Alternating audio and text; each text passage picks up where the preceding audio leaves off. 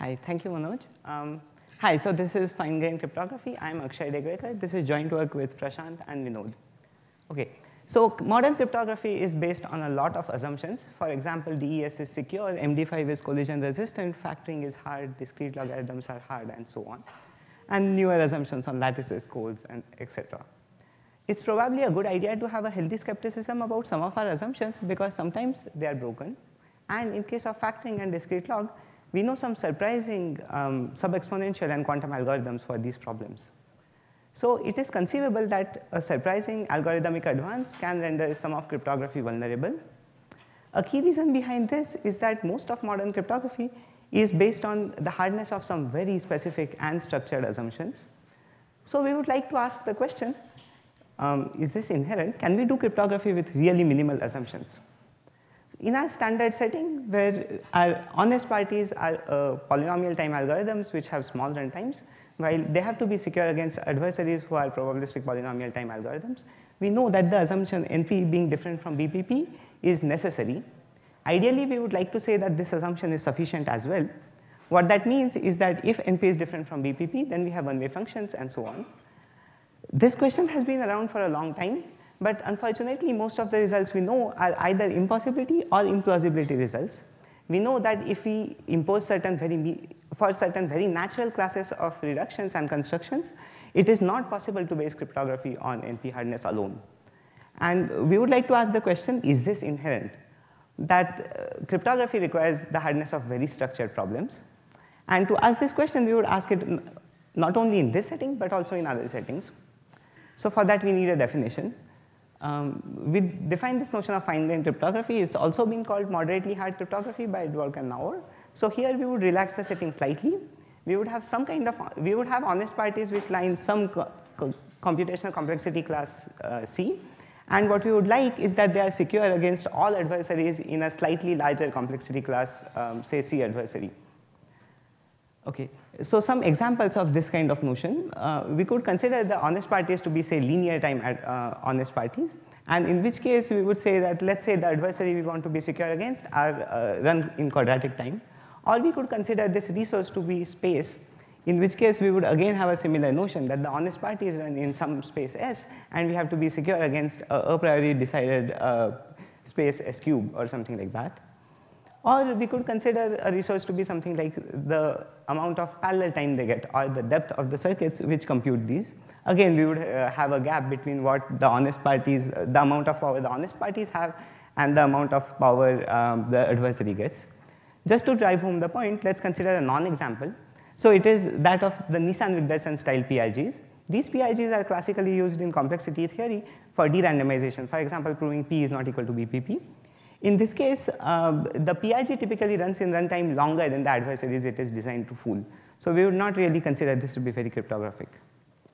Okay, so this is not really a new notion. It has been around for a while, uh, the, the, notion of uh, thinking about different settings in cryptography. Uh, the, the, first notion we would like to consider is that of Merkle puzzles. Here we know that uh, in the random Oracle model, it constructs a moderately secure key agreement protocol the honest parties uh, say make n queries to the random oracle, then it's secure against quadratically many queries made by the adversary. Or we could consider notions like proofs of work introduced by Dwork and Naor. Here again, generating the puzzles in proofs of work is easy, while actually solving them is moderately hard. Otherwise, we could consider a resource like space, in which case we know this work of bounded storage model by Maurer. Here, what we bound is the amount of memory the um, honest parties and the adversaries have. Again, we can get similarly a moderately secure key encryption, symmetric key encryption algorithm which is unconditional. Okay. Um, finally, let's consider an example of parallel time algorithms. Um, this is time lock puzzles, the classic work by Rivest, Shamir, and Wagner. Here again, to generate the puzzle, it's cheap. To solve the puzzle, it's moderately hard. And on top of it, what you want is that this um, is also inherently sequential, that parallel, parallelism doesn't buy you much. Anyway, this list is not exhaustive. Finally, we would come to the example which is closest to our work. This is um, work by Hastad. So Hastad considers uh, his adversaries to be small depth circuits, more specifically AC0 circuits. So to remind ourselves, AC0 circuits are constant depth, uh, unbounded fan-in, and polynomial size circuits. Uh, in this, and uh, just to remind ourselves of the second case, NC1 circuits are logarithmic depth circuits which have a constant fan-in. So NC1 circuits uh, can compute more than what AC0 circuits can. Hastad, okay, to, to our example, Hastad constructs this one-way function. It's a very simple one-way function. Every output bit only depends on two bits of the input. And in this case, he shows that based on the hardness of uh, computing parity, a long line of work in the 80s showed that constant depth circuits which compute parity need to have at least exponential size. And using these, we can see that this function is one way because um, inverting this function would require us to compute the parity of the output. And this is um, hard for AC0 circuits. So in this work, we also consider small depth circuits primarily because we understand their complexity to some extent. And we hope that using lower bound techniques from um, com computational complexity theory, we can actually construct cryptography out of it. Okay, so our results. Our results are in two uh, sets of, two classes of results. So the first one are against AC0 circuits. Um, in this case, we get, most of the results we get, the results we get are unconditional. We can construct one-way functions, PRG, symmetric key encryption, collision-resistant hash functions, and so on. A construction in this regime would mean something like a depth 3 circuit of size n squared also, which is secure against all constant depth and polynomial size circuits. So one thing to note here is that the classical generic transformations we know, for example, Hill and GGM, don't really work in AC0. They require more computational power. So it's not clear a priori that all these primitives are um, equivalent or not. Okay.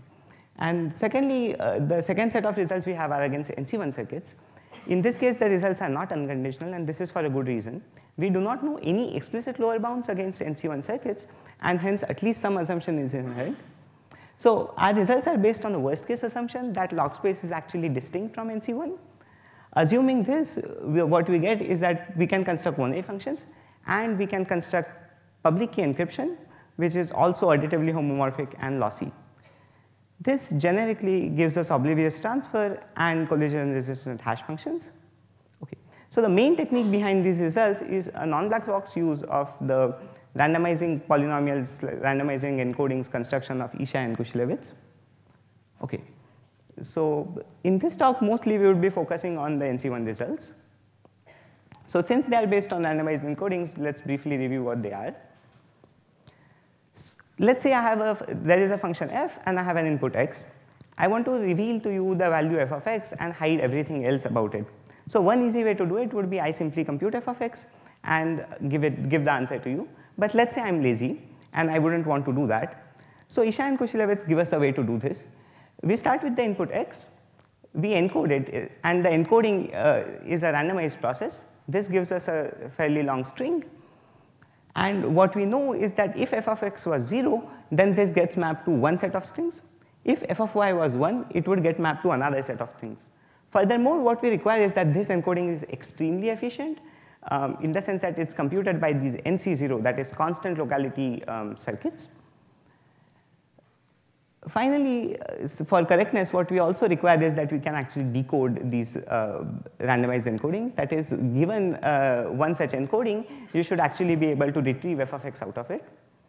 And for efficiency, we also require the fact that these are um, sampleable, that if I just tell you the output value, I should be able to randomly sample strings from um, either of these two sets.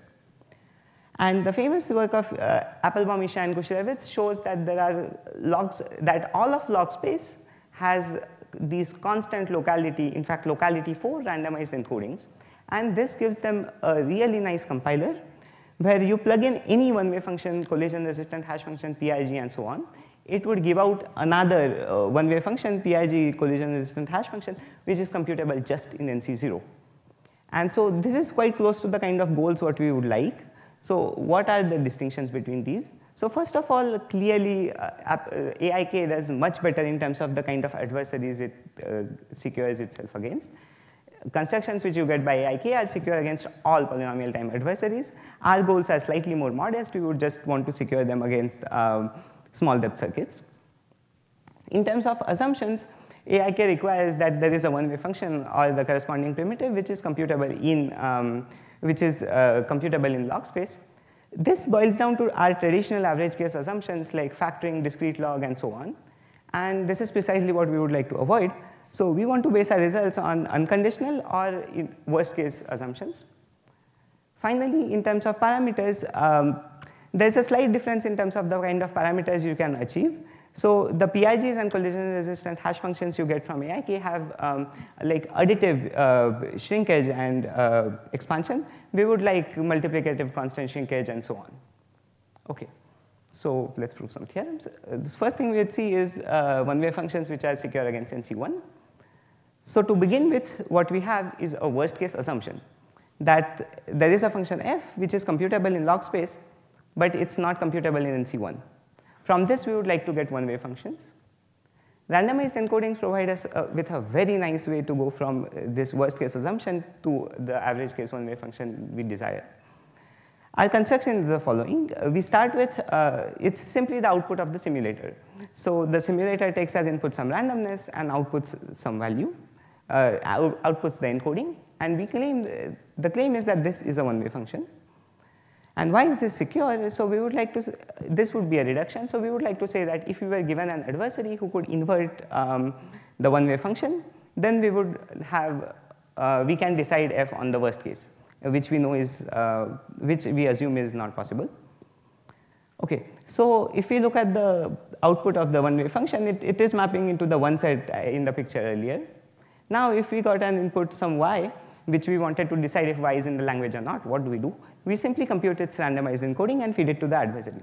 If y was actually in the language, then we know that these two would be identical, and hence the adversary would sometimes be able to invert. On the other hand, if x was not in the language, uh, f of x was 0, then we know that these two sets are completely disjoint, and hence um, f of x, uh, hence the adversary can, cannot invert it in any way. So now we have a way to distinguish um, if y was in the language, uh, then you would be able to invert it sometimes. This is one-sided error. You can amplify. And this gives us a worst case, since we have non-uniformity, this gives us a, a construction of, uh, this gives us a, a, family of circuits which compute f in NC1. Okay.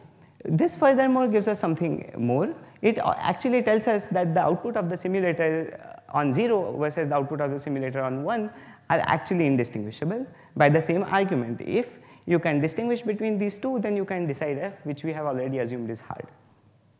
Okay, so we would like to go towards public key encryption.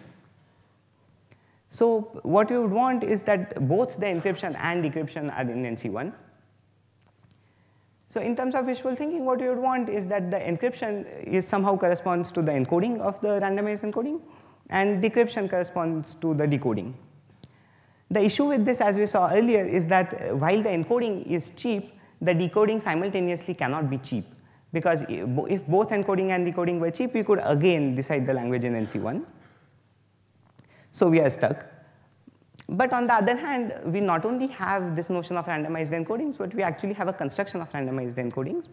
And so we would like to see if we can use the construction to actually get public key encryption and to kind of embed trapdoors in that construction. Okay. So uh, let's briefly recall the construction of Ishai and Kushilevitz about randomized encodings. So roughly speaking, uh, their encoding takes the form of this sort of upper triangular matrix where the whole bottom half is zero, the top half is completely random. The value of f is encoded in the determinant or the rank of this uh, matrix. If the matrix is full rank, then we know that uh, f of x is 1. If the matrix is not full rank, we know that f of x is 0. So combining this with the fact of with the simulator thing, we get that uh, there exists, this gives us the observation that there exists two distributions on matrices, one set of matrices which are full rank, the other set of matrices which are not full rank, and these two distributions are indistinguishable by NC1 circuits. Now matrices clearly have a lot more structure than just randomized encoding strings, and we can use this to get uh, public key encryption. So the first observation to that is that uh, we can actually sample a matrix M from the non-full rank case along with a vector K, which is actually in the kernel of the matrix. We do this by modifying the simulator of the randomized encoding, and this lets us do this. Once we have this property, a public key encryption scheme follows. What we would like is that the uh, public key is a non-full rank matrix. Along with that, the secret key is the element in the kernel. How do you encrypt? So to encrypt a zero, you output something which is in the image of the matrix, uh, in the image of the matrix. So pick a random vector and multiply the, it with the matrix. To encrypt a one, you take something which is not in the image of the matrix. And for this, what you can do is, again, pick a, um, pick a random vector, multiply it to the matrix, and then also uh, do an affine transform to get, to, the, uh, to get outside the image.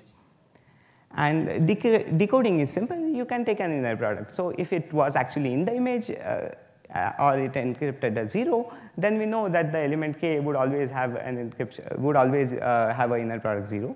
On the other hand, since it's a rank n minus 1 matrix, we can show that if, um, if it was encrypting a 1, the inner product would actually be a 1. Okay. Finally, how do we show security? So the security more or less follows from the fact that this encryption scheme is lossy. So to observe that it is lossy, we would replace M with uh, M prime, which we actually sampled from the full rank distribution. The full rank distribution, uh, when we have M prime, which is from the full rank distribution, the encryptions of 0 and encryptions of 1 are identical because uh, the encryptions of 0 are the whole, uh, span the whole space of uh, vectors, and so do the encryptions of 1. And since they are identical, the, this implies security. It's additively homomorphic and hence it implies oblivious transfer and collision resistance generically. Okay, so let's look at the second set of results briefly. Um, these are against AC0 circuits, which just to remind ourselves are constant depth um, uh, unbounded fan-in circuits. Okay, so this is based on some sort of sparse learning with errors, without errors kind of assumption. It's not really an assumption because we can prove it. Um, okay, so here what we do is we pick a uh, matrix M, which is like a poly, poly M by M matrix, and uh, such that every row of M is sparse. We need this sparsity, and then in one case we pick a completely random key k and take the output M and M comma k.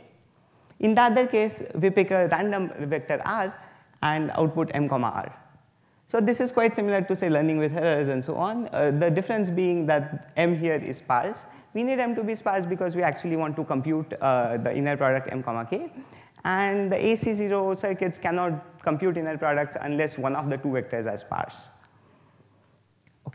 So it follows from this beautiful work of Braverman, which shows that every uh, polylog-wise independent, um, if a distribution is polylog-wise independent for every polylog, then AC0 circuits are fooled by that distribution. So this implies that these two distributions are, uh, are indistinguishable. Now we would like to get some cryptography out of it. Uh, PRGs follow pretty quickly. What we need for getting PRGs is we need an explicit matrix M um, such which has this property, it's polylog-wise sparse, and um, uh, the distribution MK is polylog-wise independent. And we can get such matrices using codes, more specifically like expander codes and so on. In case of symmetric encryption and weak PRFs, we just pick these rows at random. Uh, we pick random sparse vectors. This gives us symmetric key uh, encryption. So this encryption is also additively homomorphic. So to get collision resistance, a natural attempt would be to use uh, the work of Ishai, Kushilevitz, and Ostrovsky, which constructs uh, collision resistant hash functions from a variety of uh, homomorphic primitives. Uh, but this doesn't directly work because um, AC0 cannot really compute uh, long inner products which are needed for, um, the, for the IKO construction. Uh, we can make it work by modifying the symmetric key encryption schemes to ensure that uh, we always have sparse uh, inner products to work with. Okay, finally, we would like to ask the question, can we actually get public key encryption in the AC0 setting? And uh, for this, we saw earlier that we had one kind of an assumption where you have a sparse matrix M, uh, random key K, and then uh, this distribution is indistinguishable from random. And if we just flip the game slightly, if we change the game to saying something like that M is completely random and the key K is a random sparse vector, and that even in this case, uh, the output M, Mk is indistinguishable from uh, the output M and R, this would actually imply public key encryption but we cannot really prove this. So proving this would actually have some very interesting uh, consequences. First of all, it would yield us public key encryption. Secondly, from Braverman, we know a, a, family of distributions which fool AC0 circuits. That is uh, polylog-wise independent distributions that are independent for all possible polylogs. On the other hand, what we would like, this distribution uh, for public key and so on, We would like a distribution which is actually not polylog-wise independent for every polylog and yet um, fools AC0 circuits. Surprisingly, we don't know of something like this. And finally, it would also have some connections to learning. For example, if you could actually compute, if you could actually learn AC0 circuits really, really efficiently, then we would not actually have public key encryption in AC0. Um, okay, so a summary, we showed a, we construct a set of primitives which are secure for AC0 and NC1, uh, in one case unconditionally, in the other case under some assumption. And uh, we have an open question, can we construct public key encryption using similar techniques? Thank you. So,